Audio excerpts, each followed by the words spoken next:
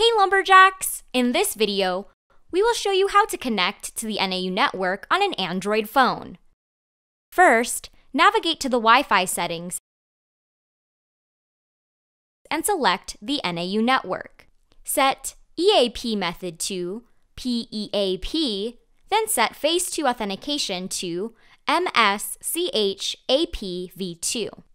Then set CA certificate to Use system certificates for an additional layer of security.